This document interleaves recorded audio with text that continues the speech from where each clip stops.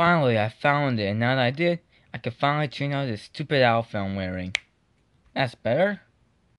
With this crystal, I'll be able to change my appearance. Well, it was nice being like this, but you know, it's time for a change, because change can be good. Let's get to it.